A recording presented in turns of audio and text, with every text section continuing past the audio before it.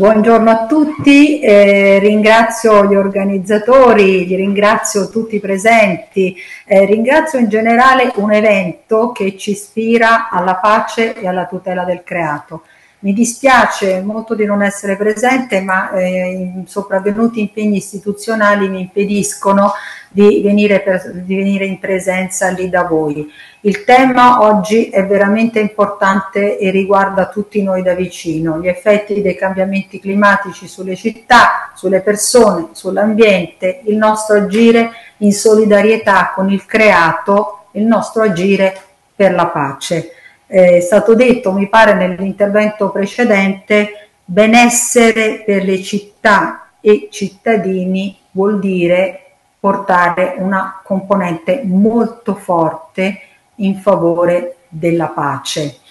E noi come Agenzia del Demanio abbiamo avviato un nuovo corso da circa due anni adottando una visione nuova nel nostro intervento, nella nostra mission istituzionale che è la tutela e il governo del patrimonio immobiliare pubblico e questa visione nuova dà centralità al territorio, all'utenza. La nostra utenza è le pubbliche amministrazioni che fanno eh, la logistica per le pubbliche amministrazioni, ma la nostra utenza sono anche i territori che ospitano i nostri immobili, i cittadini e le città. Quindi c'è da domandarsi come portare benessere alle città, ai cittadini attraverso nostre, il nostro patrimonio immobiliare che gestiamo, il patrimonio immobiliare dello Stato. Ciò riconduce il ruolo di gestori dei beni dello Stato a una relazione di valore con il territorio, una visione che però richiede Abbiamo, si è parlato qui di investimenti, ho visto nella panel precedente, ma l'investimento maggiore è il cambiamento culturale. Si tratta di una stretta collaborazione tra istituzioni centrali e territoriali che ci proietta in una dimensione etica. Agiamo insieme per il benessere dei cittadini, a tutela dei beni comuni che sono l'ambiente e il patrimonio immobiliare pubblico se il concetto di gestione del patrimonio dà l'idea di qualcosa di amministrativo, magari burocratico, no? di custode che amministra, la visione dell'agenzia di cui sto parlando proprio trasforma questo concetto in un impegno, un'attività propulsiva volte al soddisfacimento dei fabbisogni della collettività a dare supporto agli enti territoriali, a stringere solidarietà con le pubbliche amministrazioni, gli enti e i cittadini per portare che cosa? Per portare rigenerazione e sviluppo attraverso i nostri interventi. Il, teatro, il creato non può essere difeso da soli, no? È stata citata Madre Teresa di Calcutta, una goccia in un oceano, però quella goccia è importante che ci siano che ci sia. È ovvio che il creato da soli no, ci sentiremmo impotenti proprio per la sua grandiosità, ma la responsabilità di ciascuno di noi, ognuno nel proprio ruolo, è davvero importante.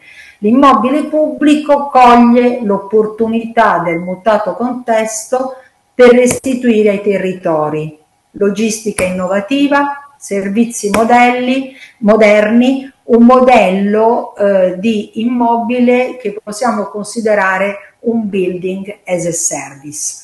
Per fare tutto ciò è indispensabile costruire una rete tra l'Agenzia del Demanio, gli enti territoriali, gli stakeholder che operano nel settore, il mercato. La valorizzazione del patrimonio immobiliare pubblico va inserita in un contesto di pianificazione per massimizzarne i risultati. Il punto di riferimento dei nostri interventi è la pianificazione urbana, la pianificazione dei territori e delle città. A quella dobbiamo rivolgersi per massimizzare il valore dei nostri interventi, per creare quella relazione di valore di cui parlavo prima un modello di gestione innovativo e trasversale che ha come fulcro la rete. Quindi io qui vorrei parlare oggi, abbiamo tanto presente gli effetti della rete digitale che talvolta sono anche un po' devianti Invece oggi io parlerei una rete di rapporti stretti e relazioni tra istituzioni, le persone che le rappresentano, che cooperano e lavorano insieme a un obiettivo comune.